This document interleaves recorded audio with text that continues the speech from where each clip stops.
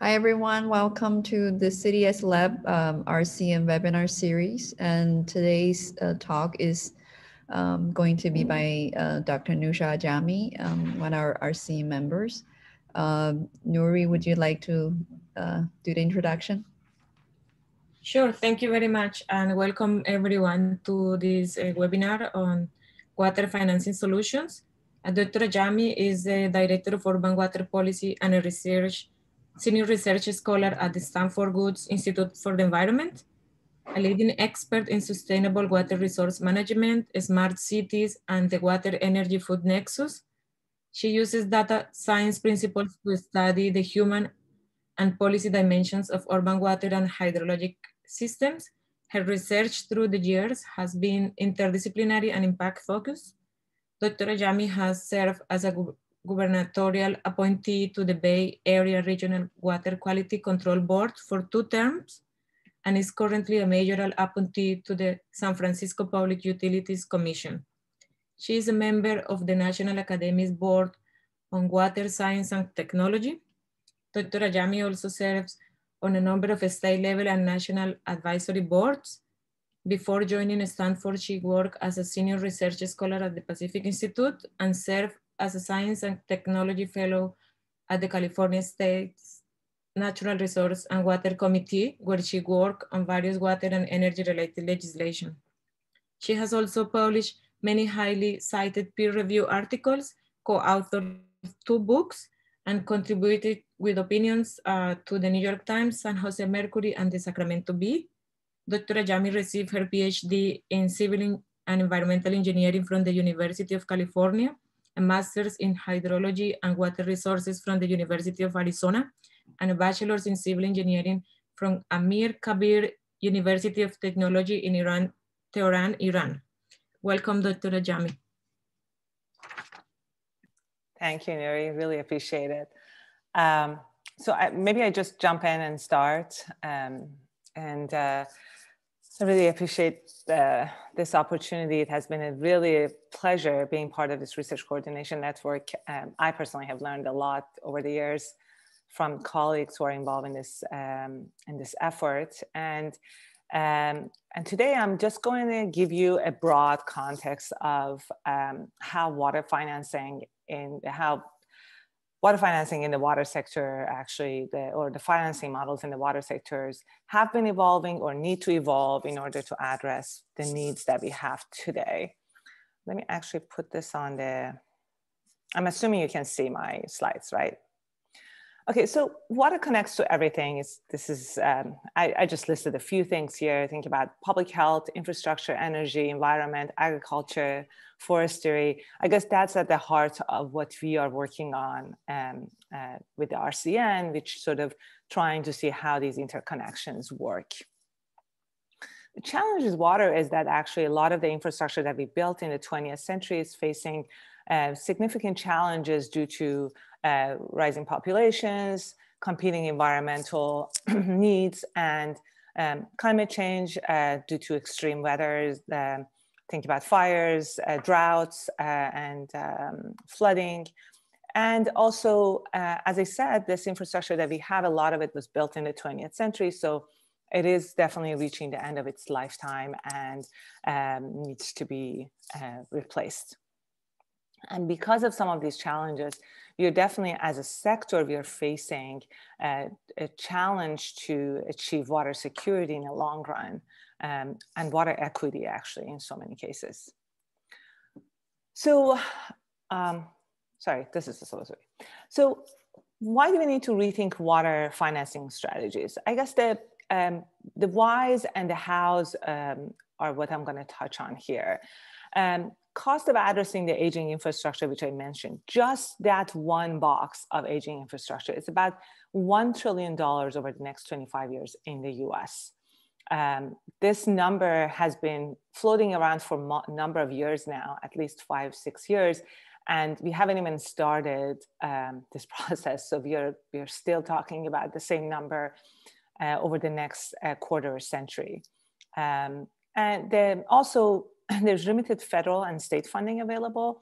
Um, there, there are some grant subsidies, tax exemptions, and uh, for municipal bonds, but still like there, uh, there is very limit, there are very limited options available out there to invest in infrastructure, uh, or there are so many hurdles to access that money.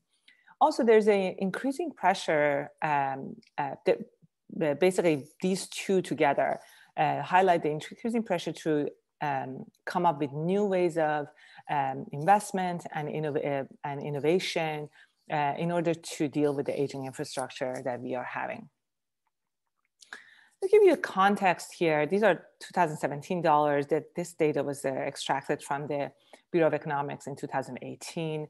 Um, and this should give you a sense of what's going on. So the blue line is showing the state and local government investment in uh, water resources and uh, water utilities. Um, and uh, the mm, sort of the darker line um, uh, is uh, from the federal side. And what you see, and these are numbers from 1956 to 2016. What do you see is that um, over the years, we see more and more local and state money going into um, investing in water, uh, especially water utilities. And part of that demonstrated need that these utilities have to uh, achieve security and um, reliability over time. And actually, we have had, um, except for this era, era the earlier in the um, basically the mid-century, last century.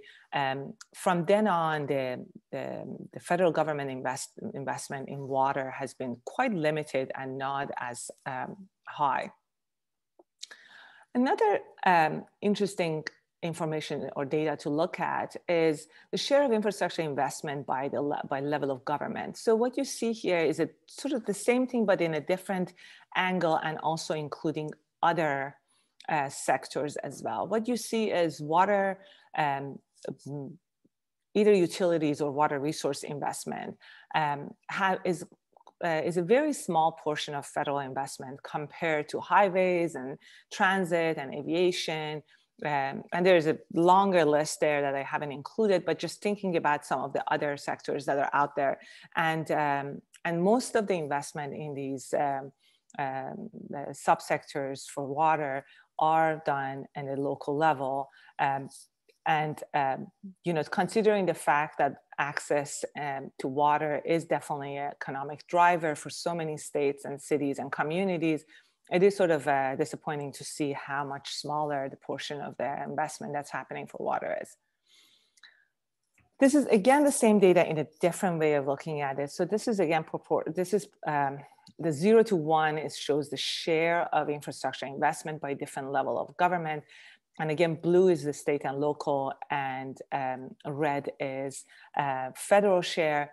And what you see here, actually, one thing that I want you to pay attention to is that between 1956 and um, sort of around um, mid 70s, um, late 70s, you see a, uh, the portion of investment from the federal government was quite high.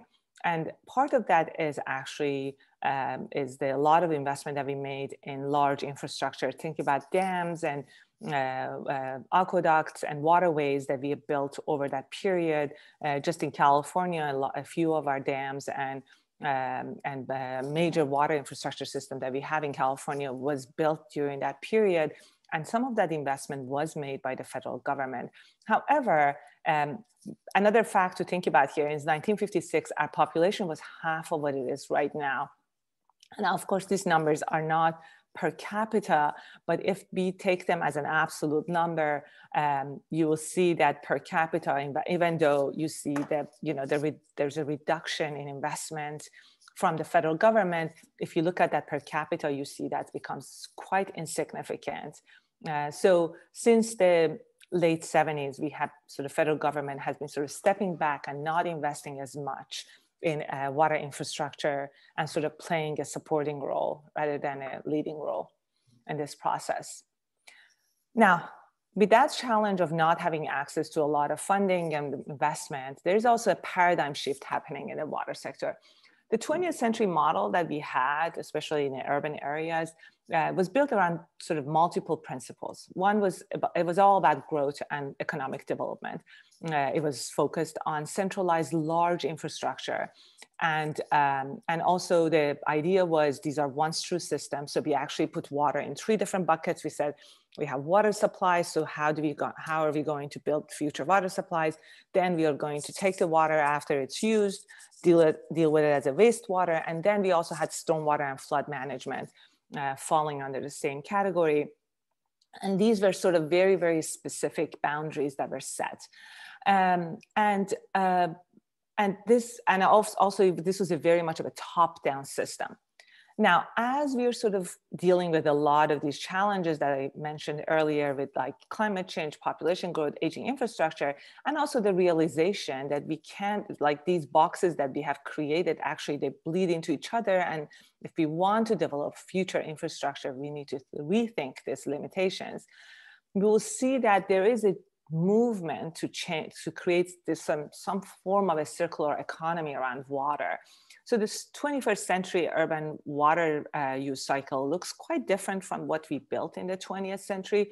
Uh, there's much more interest in, um, you know, conservation efficiency, trying to reuse as much as we can, uh, direct potable reuse, um, focus on green infrastructure, manage aquifer recharge. So this one linear system that we had that was water and used in the city, water out, is turning into this very complex system.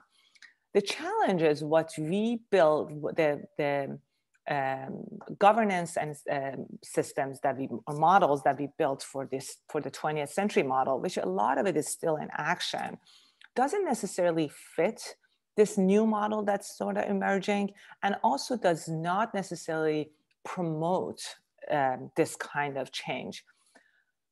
Um, when we're thinking about this distributed water system that is disrupting our uh, conventional urban water cycle, uh, we can think about the fact that they can create more flexibility in the system and uh, flexibility in a sense that, you know, when obviously we have all this major infrastructure that's out there, dams and aqueducts and pumps and pipes. Um, however, they're, and they're aging. However, like looking forward, we are seeing it to be much less of those kind of infrastructure and much more of these smaller pieces. So create some flexibility to take the load off those um, uh, um, larger infrastructure.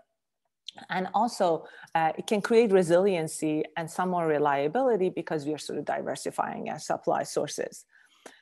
Um, however, um, as we are sort of going through this paradigm shift and diversifying our water supply and sort of revisiting our this top-down management model we had with uh, once through systems, uh, what we see is a mix of those centralized, as I said, centralized systems that we had, and also these decentralized pieces that we are putting in place. So people becoming uh, producers. They are actually, for example, if you think about a building that's using, creating uh, or regenerating water, that they're basically producing water. So they are sort of becoming part of the generation uh, process rather than just a consumer. So this shift from centralized to decentralized is creating this hybrid model and also customers becoming a major part of this process. So so how can we sort of finance this shift? Um, and that is the that's sort of the major question here, because obviously the conventional models we had doesn't necessarily work in this system that we are creating and requires rethinking. One of the things we did for this specific um, study that I'm going to present is that we actually looked into the electricity sector. Partly because if you think about it, if you think about, I don't know, late 90s, um, and early, uh, early 21st centuries, uh, early 21st century, what you, what you might remember is that we didn't have that many solar panels on our roofs, or um, we actually in San Francisco have these small wind turbines, or there weren't that many like um, that much investment in these renewable energy um, uh, solutions. And um, we thought that um, you know, the energy sector has been about 20, 30 years ahead of the water sector and sort of have gone through this transition, sort of going from centralized infrastructure to this hybrid model and, and has been sort of tackling a lot of challenges as part of this process. So there might be something there that we can take and use for the water sector. So the way we use this methodology, as I just mentioned, actually, is we looked at all the different um, non-traditional solutions that are out there, and then we were sort of interested to see at the government scale and level and at the local uh, level how these this transition has happened, who invested in these solutions, how these investment has happened, and what kind of funding mechanism um, were used to, this, to enable this transition, and which one of those funding mechanisms are potentially relevant to the water sector, um, either to put water sector at, under that umbrella or actually take that and replicate it for the water sector. What you see, actually, I touched on this a little bit, but what you see in the evolution of the electricity sector was like actually, it was sort of overcoming a lot of barriers that they were facing.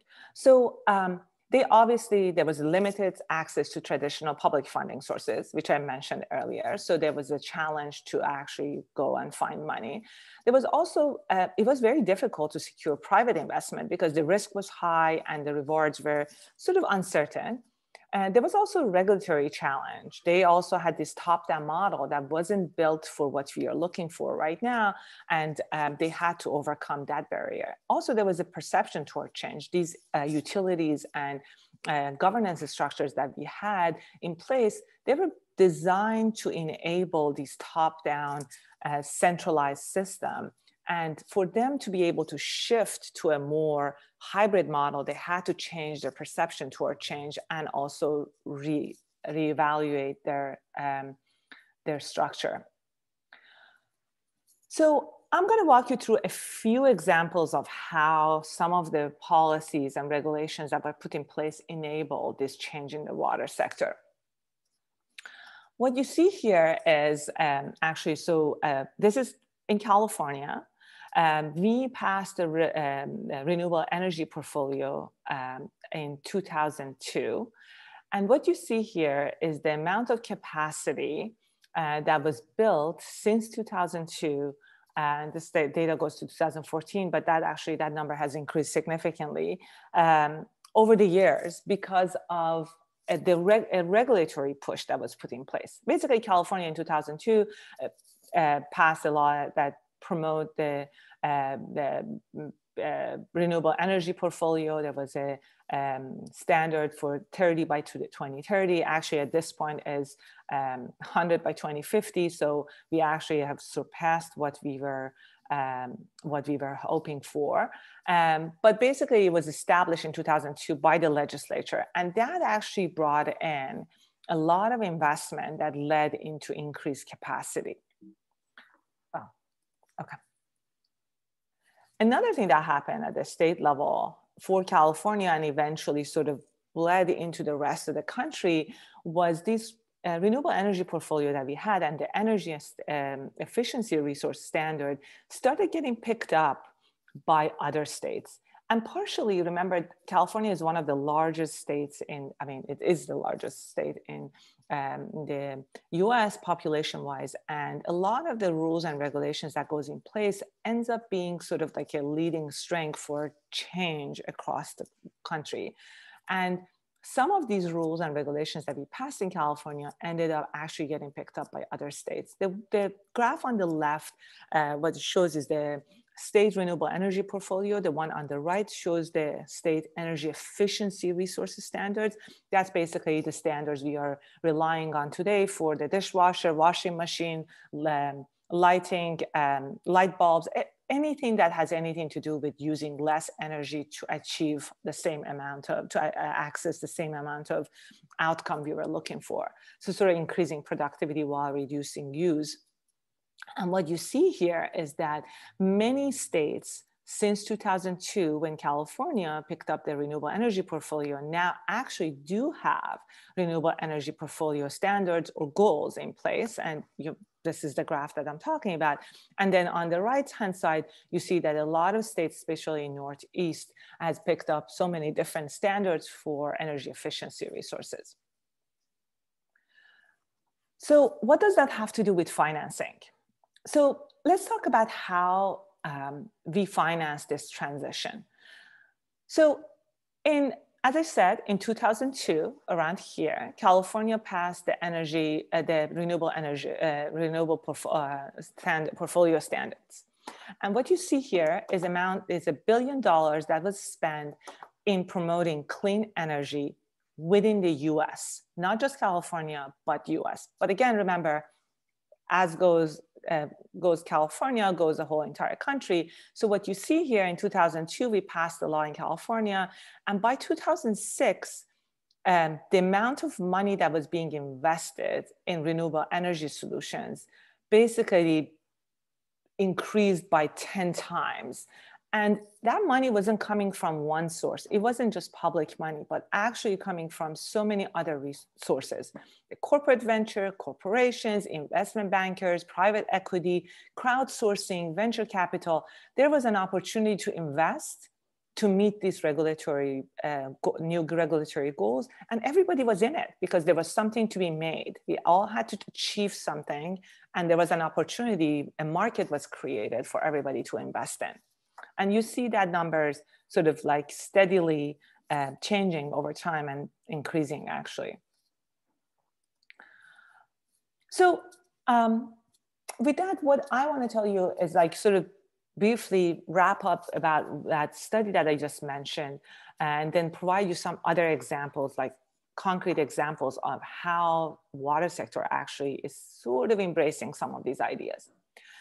After we studied about like 200 different projects in the water in the energy sector. We basically came up with a very simple framework that was used in the water in the energy sector to enable this transition from a publicly invested uh, centralized system to the hybrid system we have right now that, that incorporates lots of change and um, innovation and actually funding sources. What we found was there's always need to be a catalyzer for this kind of change in the energy sector, it was the regulatory drivers that ended up actually creating market drivers that, they, that sort of went hand in hand to make, create a shift in the energy sector. Some funding, uh, some funding was uh, sources were established at the public level and then private funds followed. So for example, we established a public goods charge for energy in California and those dollars went to bring down the cost of capital and increase investment in the solar systems. And then that actually brought in lots of private capital as a sort of to augment that public money to enable change. Um, that, so those public funds and private funds sort of went hand in hand to, um, to move the sector forward. Um, another piece that basically was very, very important as part of this transition was using resource pathways. So there's one thing to have funding available or different people bringing money to the table. There's another thing that engages that money and distributes, distributes it among different users and, and um, stakeholders. So, uh, for example, in California, we established, um, you know, direct subsidies that ended up going into um, uh, bringing the cost of, again, cost of capital down. And that ended up, uh, and this is actually not just California, across the country, you see that, you know, there are so many different subsidies for putting solar panels on your roof or replacing your um, windows or, um, you know, uh, just name it. Um, and uh, basically those direct subsidies ended up going into um, uh, in, into the hand of the consumers. And then basically for every dollar that they ended up spending, almost two or three dollars that maybe a customer would, be willing to, uh, to, spend to replace or, uh, or uh, in, uh, implement some of those solutions. And eventually, actually, a lot of that money also went into, as I said, eliminating capital, upfront capital cost, which, which often is the largest um, portion of and the hardest thing to invest in. Now, these are all might look very um, obvious to you just because obviously we always need to have some form of funding available and we have to sort of distribute it somehow.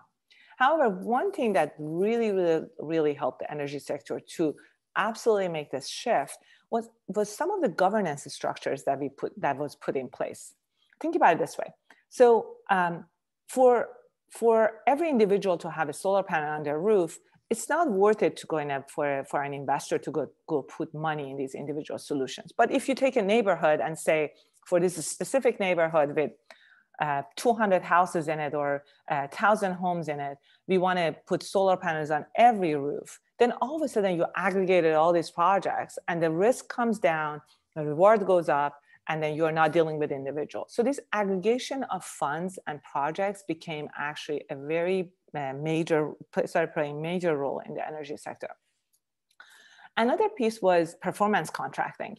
Um, there was an interest to know, okay, so if we are investing in these solutions, what does it mean? How does it change access? So there was a lot of work done on changing the way we measure success as we transition from centralized to decentralized also there was also a lot of effort around net metering. So so sort of basically trying to figure out okay so how um, you know if i'm generating electricity and i'm not just a consumer of electricity but um, sort of producer of electricity can i put it back in the grid? This process ended up encouraging some people to start um, uh, investing in um, in uh, alternative solutions. And also there was a revenue decoupling. Um, the energy sector was similar to the water sector it is right now. As you used energy, you had to pay for it. But the reality is there's a fixed cost associated with the infrastructure we have. So energy sector went through this process of changing, so basically making sure that they can always recover the cost of service that they're providing especially when it comes to the fixed cost that they have. And then on top of that, they would charge people for amount of water energy that they were using. And this separating the amount of fixed costs from variable costs they had, it helped the energy utilities to promote conservation and efficiency and actually um, uh, customers generating electricity because it wasn't hurting the bottom line so much and also it wasn't hurting the revenue uh, that they needed to maintain their infrastructure. So I would say one of the major changes that happened in the energy sector was actually creating these innovative governance structures. So I'm going to quickly walk through a few case studies that um, um, in the water sector that have used this uh, model. Um, the storyline goes that uh, we, we did this study, we were done, we published it, and then we started getting calls from people super excited about the study telling us, look, we actually did this. We re- did, go, we did try to use net metering for water and it's working. Or we did try to do aggregation and this is the outcome. So we decided to kind of start tabulating these um, success stories to kind of create this peer-to-peer learning and also promote some of these solutions. So I'm going to bring up a few of those solutions here. So um, just the mechanisms that are highlighted, we actually created the living map um, uh, for the uh, for invest for um, financing water infrastructure, and um, uh, we started putting everybody on the map and highlighting what kind of mechanism they used as part of the bigger framework we had created. And we sort of identified number of things that has happened from, as I said, aggregation, performance-based rebates, and all those different solutions. One of the things that was very, uh, very much attractive to the energy, uh, to the um, water sector, and still is in a, a process of becoming more, creating more footing in the sector. Um, hopefully, uh, we'll see more of it soon. Is the impact-driven bonds. Um, basically, it's promoting positive social and environmental change can bring in people to the table that are interested in sustainability and are motivated, um, um, the investors that are motivated to invest in these solutions for maybe smaller rate of return, but for actually uh, for them to be able to account that as a sustainability action. Um, one of these examples are um, the DC um, environmental impact fund, uh, bond that exists right now. Um, basically, they had to deal with their, uh, they had to reduce the runoff um, in the, uh, by the, basically in 20 acres. They, they wanted to um, install green infrastructure. They had to deal with some of their um, uh, runoff to Chesapeake Bay. So this was something that they decided to do instead of building more large stormwater capture systems and retentions. They decided actually to invest in green infrastructure. And uh, basically to make this happen, they identify different places that they can potentially invest in green infrastructure, a distributed system of solutions across the city. And to make that happen, they, uh, they worked with Goldman Sachs and um, Calvert Foundation to actually secure about $25 million to invest in this system. One thing that was very innovative about what they did was they created this performance tiers because the money was there. They wanted to bring in people to to install these green infrastructures, but they didn't want the DC Water didn't want to be the only risk risk taker in this process because if they would have invested and it wouldn't work, what would have happened? So they actually created these performance tiers, and people came in and created different. Uh, you know the, the, the proposals that were put on place um, were focused on okay how can you what's the risk and reward in this process so basically dc water if they uh, performance, um, the fir first tier of performance. But if the runoff was reduced by um, more than 41%, which was quite significant, DC Water would actually pay the investors about $3 million because they would have saved. Why? Because they would have saved from the fines that they had to pay for, um, for not being able to meet their stormwater uh, capture requirements. And, and they already had the cease and desist order for that. Um, the second tier was, you know, if it's between 18% and 41%, um, uh, basically nobody owes anybody anything. Um, and then if actually the reduction was less than 18%, the investors would pay DC Water.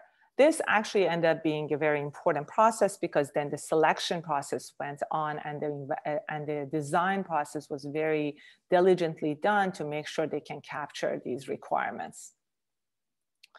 Uh, the second uh, example I have is the forest resilience bond, which is um, um, which is done by um, um mm, an amazing small um, organization um, uh, called Blue Forest Conservation, and basically their goal is to aggregate funds and aggregate beneficiaries.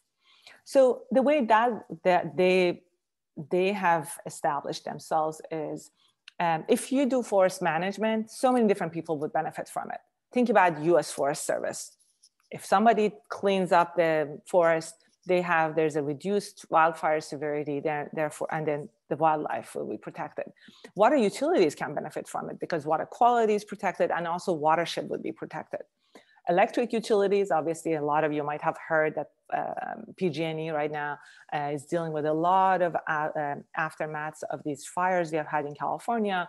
Basically, power generation can increase, and also also there will be a, reduction in the cost of dealing with aftermaths of wildfires or reservoir uh, sedimentation, which can also impact their production.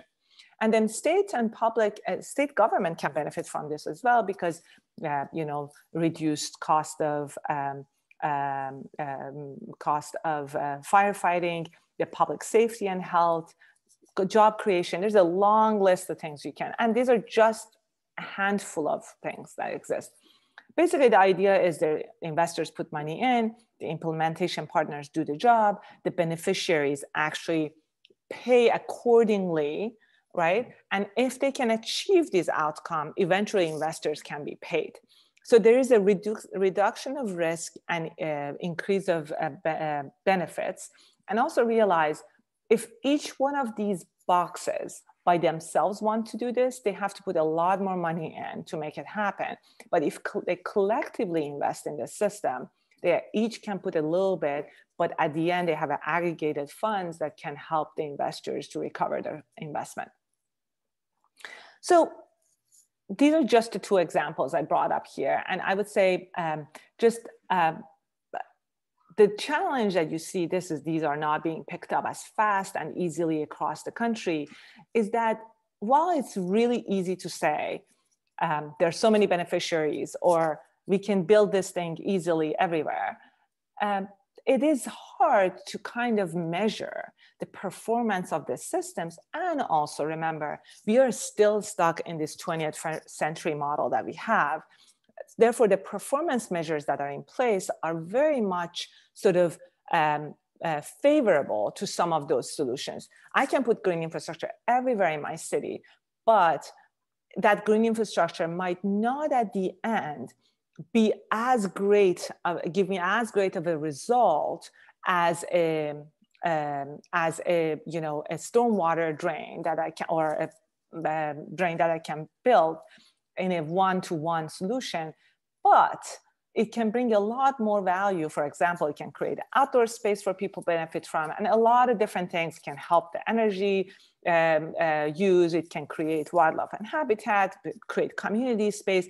So the investment, while it doesn't bring one outcome, it can bring an array of uh, uh, benefits. But the problem is we are not used to measuring these things individually and adding them up and aggregating them. We are used to, you remember at the beginning, I said we are in our own personal silos. We are measuring everything within our own silo and trying to um, justify the investment within that silo. So it's very, very difficult to get people to kind of um, value this kind of a broader set of benefits and actually be able to justify, justify investment. However, if we can create this partnership across groups, we can reduce risk, increase access to capital, increase res resiliency. So there's the, the, other side of this. So if we can create a, uh, metrics that can actually measure all these benefits and sort of aggregate them and bring these beneficiaries to the table, we can ultimately do all these things together for less money and better outcomes. We did actually a quick study um, uh, a couple of years ago. We looked at various uh, cities across the uh, across the world that are incorporating green infrastructure as part of their portfolio to deal with stormwater management. And, um, and we tried to see if they are actually accounting for some of these benefits as part of their invest, as part of their funding and financing mechanism.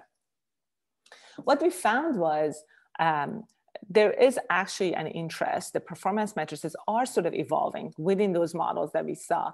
Um, there is an interest in this increase uh, in quality of life. Definitely, there you can see that both in domestic and international models that we looked at, everybody is acknowledging that as part of their uh, social elements.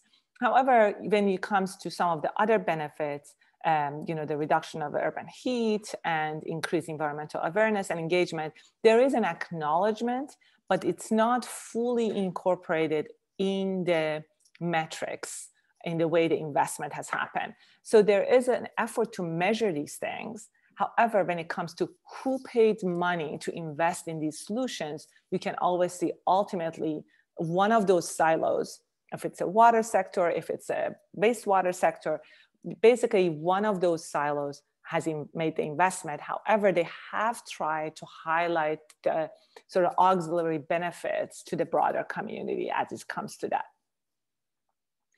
Um, so I'm, you know, I'm mindful of the time. I, I can go to another example here uh, with public-private partnerships. Um, maybe I'll quickly walk through this actually.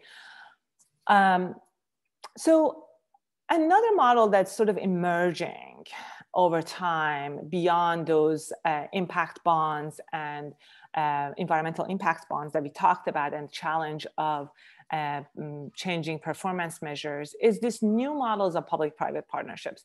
Conventionally, public-private partnerships, which I'm sure a lot of you have heard of, is um, it they were very transactional. Somebody would come in, bid on a project, they would build it. Um, you know, it was uh, the performance as, was based on contractual agreements. We'll deliver X, and it was always about um, you know everybody at the table was trying to minimize the risk and increase the profit and often this happened from the private sector side because they were much more equipped to minimize the risk and increase the profit and and actually, in the water sector, we see example after example that this had led to um, increased risk for the uh, for the utility or the community that worked with these private entities, and actually they they were left with some of the consequences of the decisions that were made.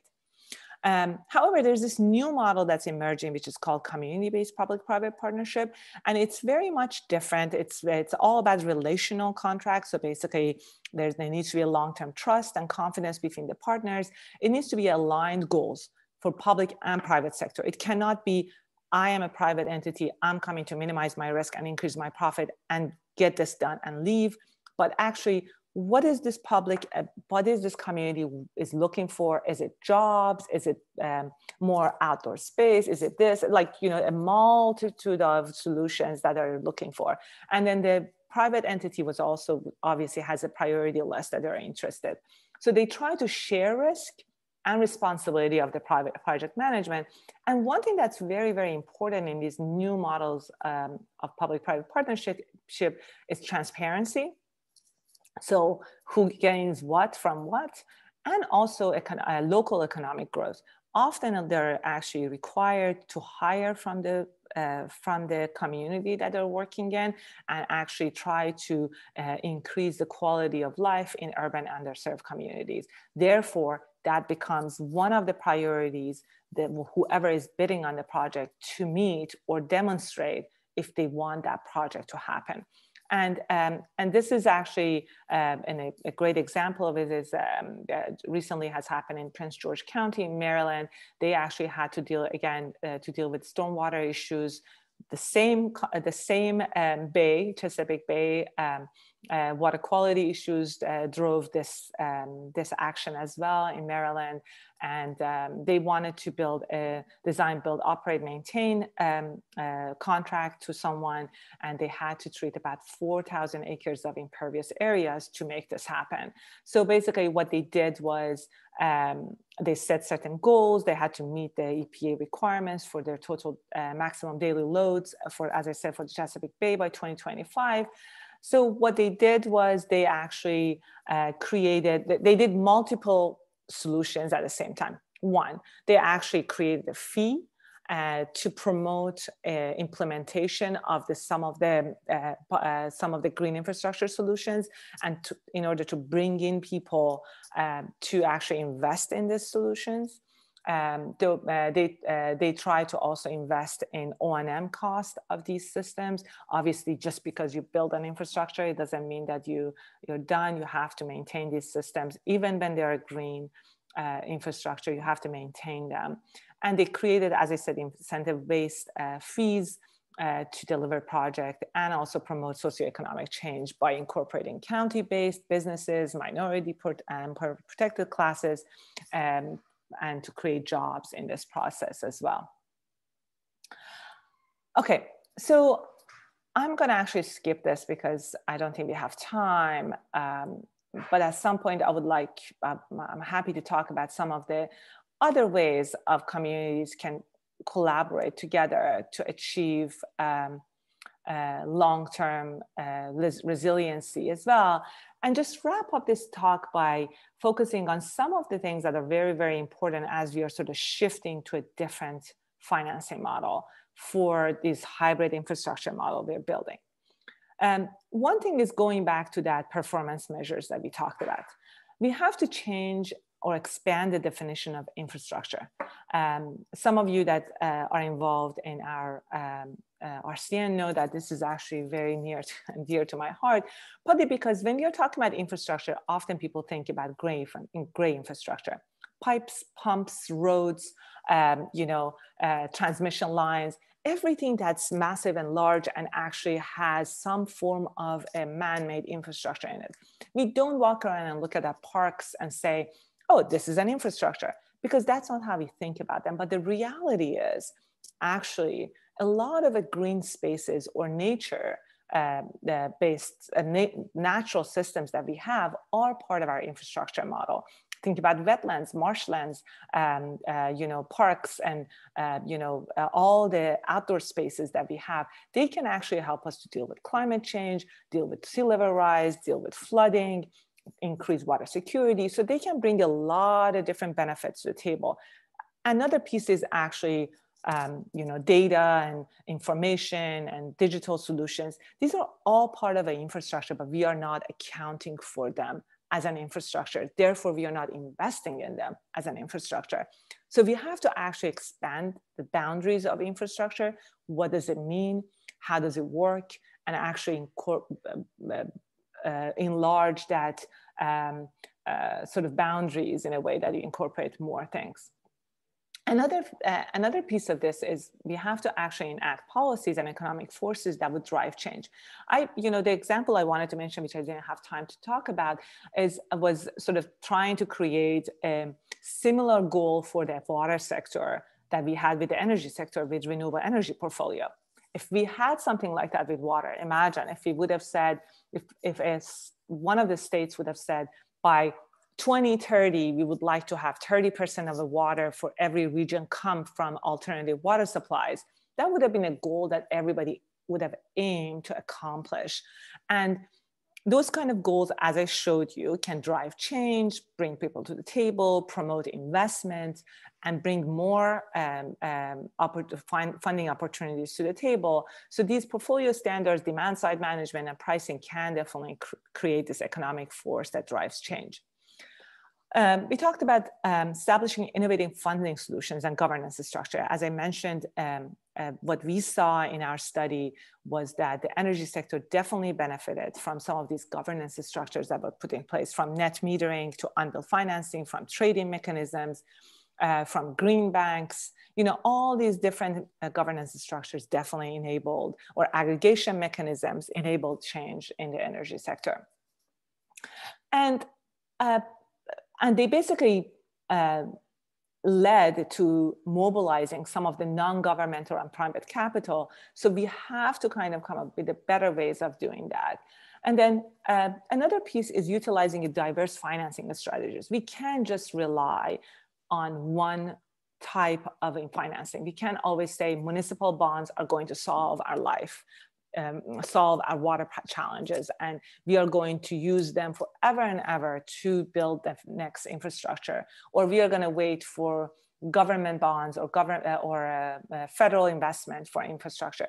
We need to have a broad diverse set of uh, financial models in place if we want to be able to have a reliable uh, model that we can depend on uh, during economic downturns and economic upturns, like, you know, all these different times we are dealing with. So it's important to have a diverse financial strategy in place to minimize risk and increase economic potential. Cost sharing, as I said, very, very important. Cost sharing can be work with customers to invest in these solutions. Think about small solar panels on people's roofs or on-site reuse uh, for every building to you know regional solar farms or wind uh, farms and uh, you know and again regional recycling solutions. Another piece is uh, so which basically i think that actually plays a very very important role when it comes to um, when it comes to investment. I give you so, and then um, so it can also happen more so uh, for example, I'll give you an example with the, you know, I have the word developer here, but uh, so for example, San Francisco is a great example of this. They actually passed a law that said uh, every building that's larger than 250,000 square foot, um, they have to uh, in the, incorporate on-site reuse in, the, in their building. And basically uh, the investment was supposed to happen by the developers because they were the one who wanted to build these large um, uh, high rises. So that would help them.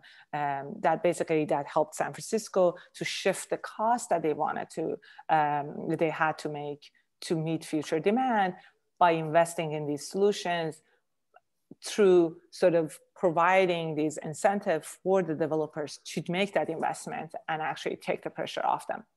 And with that, I am just going to stop and uh, hopefully we have about 10 minutes to answer any questions anybody may have. Yes, thank you very much. Uh, we actually, thank you for the great presentation. We actually have one question from Professor Michael Bakker. Okay.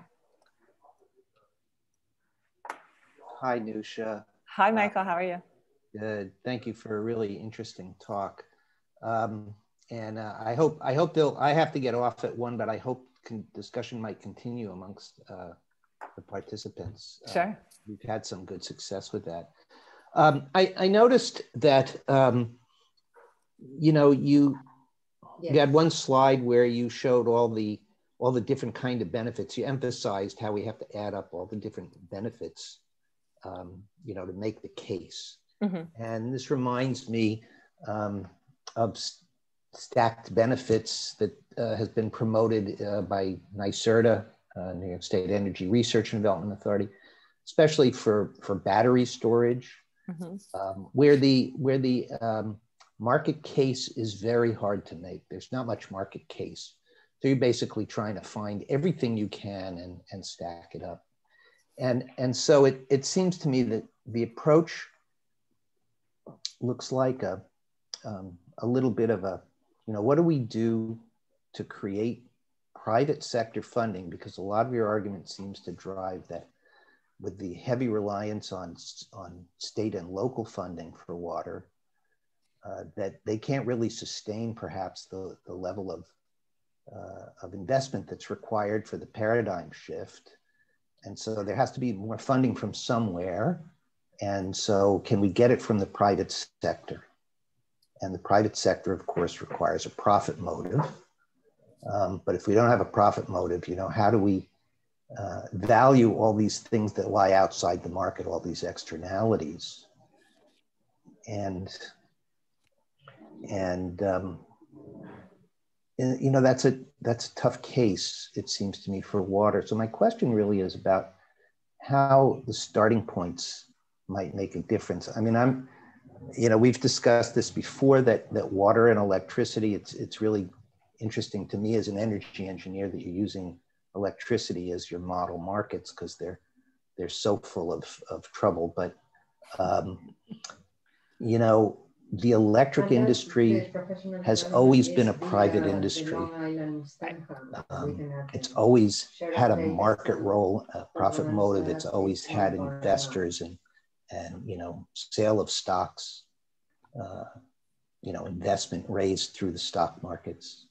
Um, you know, yes, it's regulated, but it's private.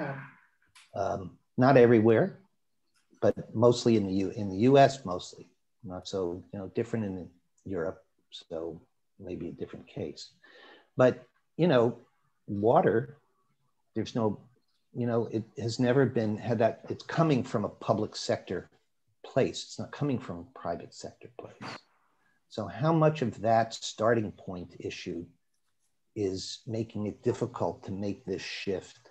You know, even the case you give of of the Prince George case, you know, it's still it's a public it's it's privatization of a public of a publicly funded share, process. Bobby, can you add you know? share of So I, I, just wonder about the fit. And, and yeah, I'm, I'm, I'm, happy to talk to you about this. Actually, this is um, uh, this was definitely a reaction we got when we did the study, and um, and I would say um, if, a few things. Maybe I should have highlighted these. One is the idea is not privatization versus public. It's actually um, a lot of these investments that are happening in the energy sector is not private further privatizing the energy sector. It is actually bringing money in to augment what already exists so and the idea is to do the same thing. And you see that in, in san francisco as an example which you know all these developers are putting these on-site reuse in these buildings right? Um, which actually eventually taking the cost off the rest of the public because if they don't do that, then somebody else has to build another recycling plant to meet the future needs of the city as population is growing. So I don't necessarily think it's all about ownership and who owns what. However, and I yes, I absolutely agree. Water energy sector, 80% private, um, investor owned, 20% publicly owned versus water is totally flipped. But that doesn't mean that we cannot get enough people to bring money in and make a case for the water sector. Because the way it's going right now we are going to fail.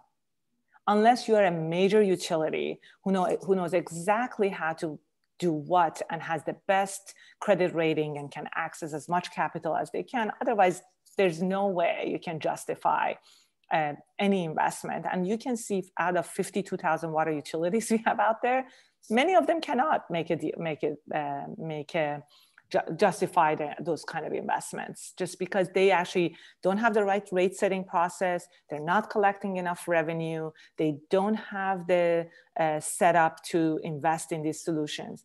Another another piece i'll bring up michael is i think i i hear you with um, you know who is investing in what. And i would say when i talk about cost sharing i want you to think about not just uh, you know, a venture capitalist coming, putting money into this. I'm talking about uh, maybe me as an individual replacing my front um, uh, front driveway, right? So it's a it's a uh, and and maybe my replacing my driveway is not necessarily making a huge dent in the system, but it's one out of many, and so it can aggregate a lot of these things to become one become an important outcome. So it's it's a combination of different bringing different people to the table, but and then that eventually can reduce risk as you're investing. One last point I want to make here is um, is you know googles and facebooks and i'm, I'm sure in you know new york very similar all these major um, uh, companies are already making a lot of investment to deal with climate change many of those actually can have a water angle into them why aren't they right so they can actually put those dollars towards improving our water security in so many different ways but they're not and and they are not necessarily looking for recovering their investment, they're actually looking for being a good player in the system.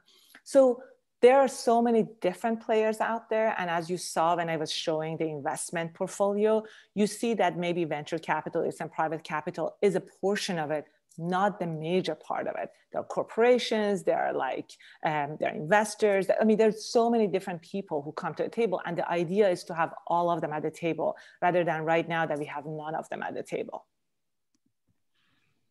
Thank you, Dr. Newsha. And we have a few more questions. I don't know if we have enough time, but I would like to. I'm happy to stay. Try one or two. Sure. Mm, Professor Hilary Brown. Great. Thank you so much. What a what a fabulous presentation. Um, you. did um, emphasize the non-traditional, uh, the need for non-traditional invest uh, infrastructure investments, but we still have legacy infrastructure which we cannot dismiss. We're still dependent Absolutely. on it. And so my question is this, and we still have something called the state revolving funds Mm-hmm. um, that the feds could replenish. Um, and, and that would go towards, you know, not maintenance, but new, new equipment as needed.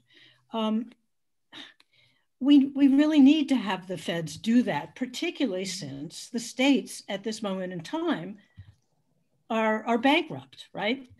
Because of COVID. Yep. So uh, um, my question is, you know, to your knowledge, is there movement to um, uh, around this this question? And then I have one other very short question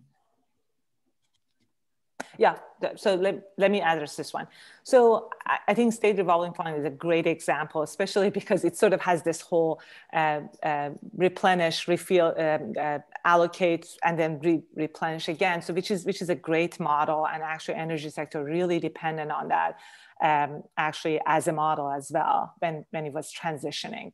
So, so yes, absolutely that can be used. One thing I would say, Hilary, I think um, maybe it didn't come across, but when I was talking about this performance measure, one of the challenges we have is actually sometimes it's difficult to get federal dollars or state dollars to invest in these alternative solutions, such as green infrastructure, because they are not penciling out, right?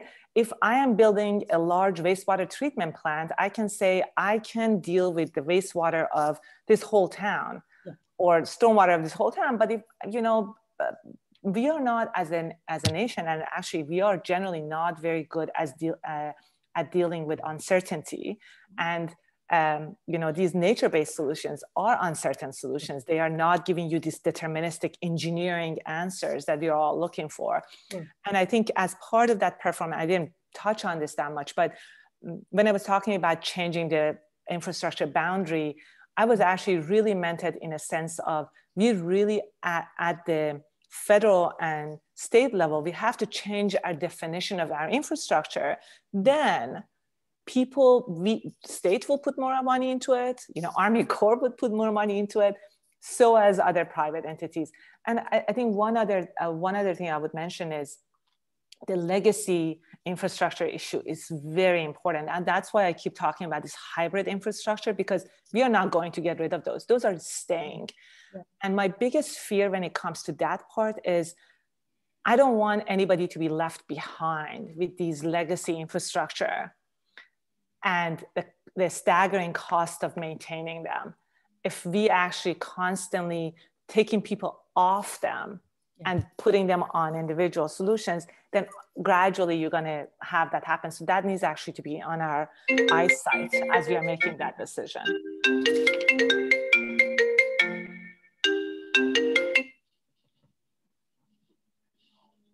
Um, we can continue. Um, can I just? Everybody has a question. Sure, oh, okay. go ahead. Response to that. Okay. Yes, you're absolutely right. The the feds have to change, and the states have to to undergo a, a paradigm shift in what constitutes infrastructure. Uh, we also have the problem with the regulatory sector.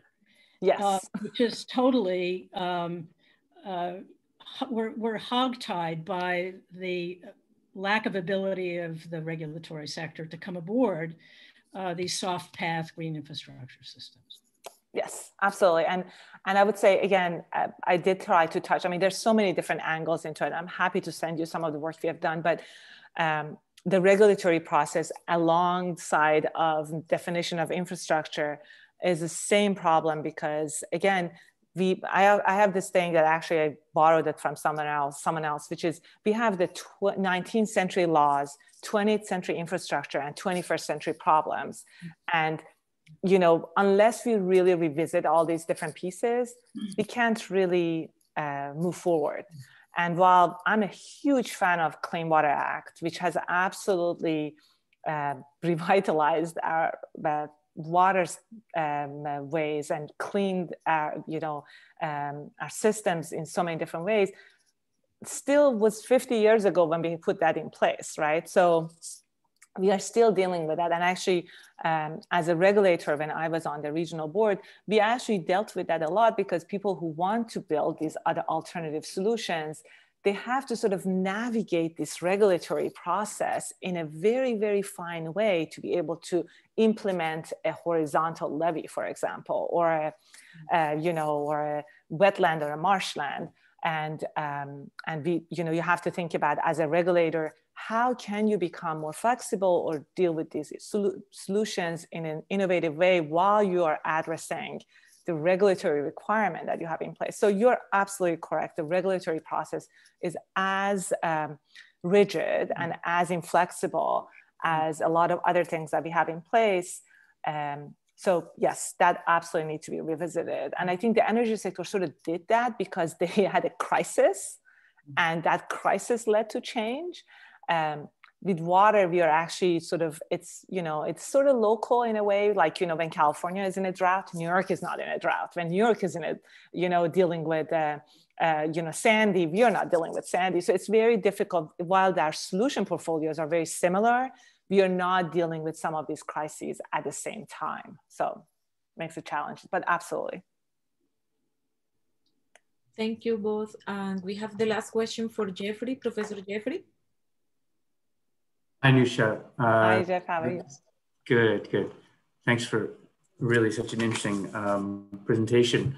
Um, I'm really in this uh, slide that you had on financing green infrastructure through um, this notion of co-benefits uh-huh. and um, and obviously you know there are different mechanisms uh, such as floating bonds or public-private partnership with the return on investment um, and what you're suggesting here is there's really not this kind of uh, paradigm shift to include the kind of co-benefits that you know people like Bree Brown have been working on for a very long time.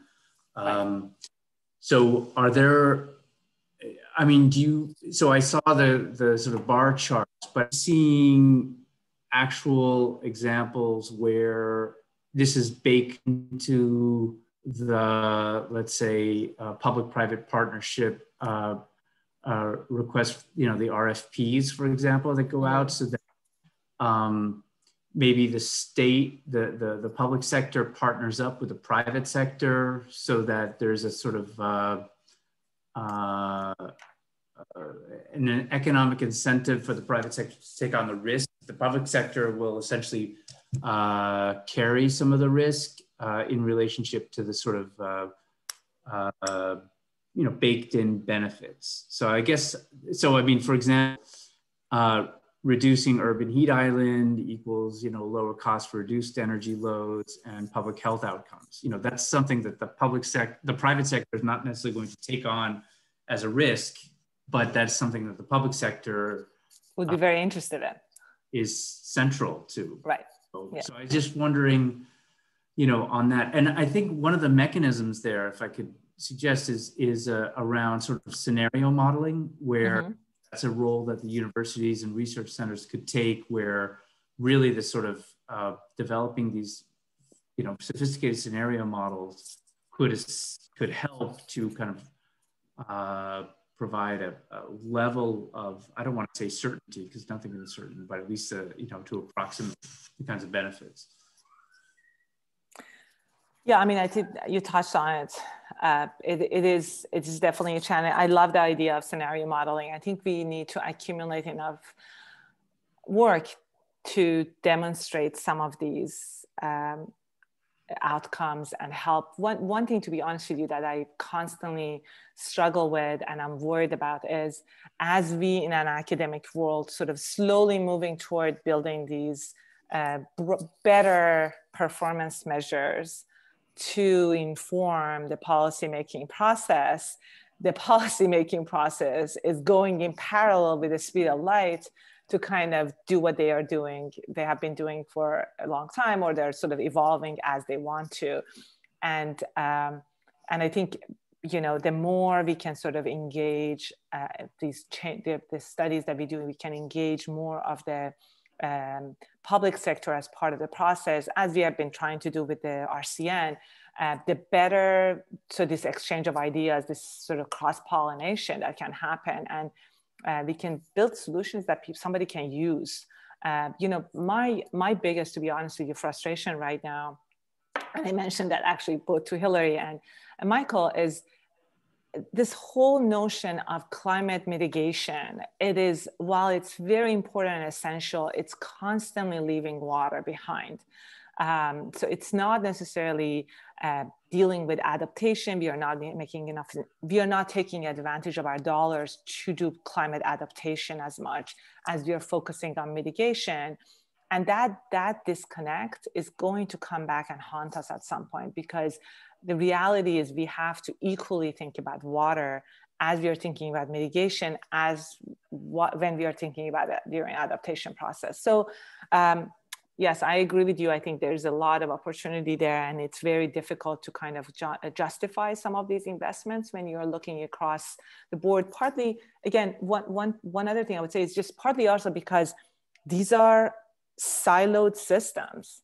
Um, the energy sector is not as much interested in um, in public health issues because it's not in their wheelhouse to deal with public health issues. That's not their priority or their goal. Um, so trying to kind of making sure these, uh, these sectors bleed into each other is also very important. And I can see Jeffrey is uh, frozen. I don't know if he can hear me. Hear yeah, me yeah, I can hear you. Okay, yeah. perfect. because your your picture is frozen, so I wasn't hundred percent sure. But um, but yeah, I mean, I, I, guess I guess there's a lot of opportunity out there, and I think it's um, the more we can do to push these boundaries, the better it is. And um, and I am um, um I'll tell you, I'm every day I'm encouraged by a lot of the work that's being done right now and the focus that's sort of being put on these whole cross sectoral performance measures and issues around how each decision we make in one sector can have a broad consequences in the other sectors. And I think, again, going back to RCN, we constantly talk about this whenever, uh, whenever we are together um, to sort of like, sort of see how um, how potentially you can think about water in the light of energy and food and the other way around. And you know sure sure. it's important. Absolutely. But i'm i'm with you. And i love that scenario modeling. I think that's an excellent um, way of approaching this just because it's so complex you can't you can't have one model and do everything with it yep i'm sure uh, many of the RCN members agree with you on that Um, well, thank you, Newsha, so much for the wonderful talk. Uh, I think we we established a LinkedIn group and also a YouTube channel. So I, I know there are many questions that we couldn't cover with just so short one hour. And please cover on the conversation on our LinkedIn and we'll have um, a continued conversation afterwards. Um, well, thank you so much, everyone. Thank you so much for having me. I appreciate it. Thanks, Newsha. Thank you. Thank you, Newsha.